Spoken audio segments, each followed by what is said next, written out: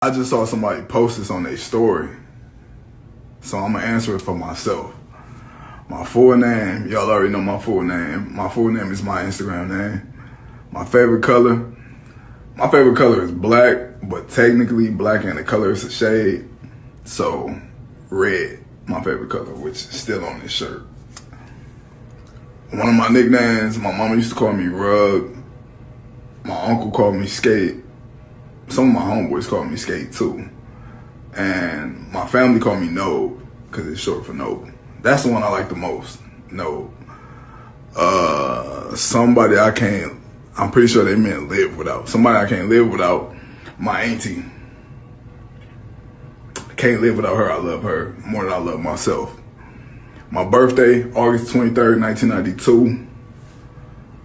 And my best friend, my auntie. My auntie is my best friend. But if I can't count family, my best friend is named Shauna. I've been friends with her since I was like 13, and we still cool to this day. She the only person that know like everything about me. She know more about me than my homeboys. But my homeboys, that's my best friends, you know, Dales, my nigga Mello, uh, yeah, that's it.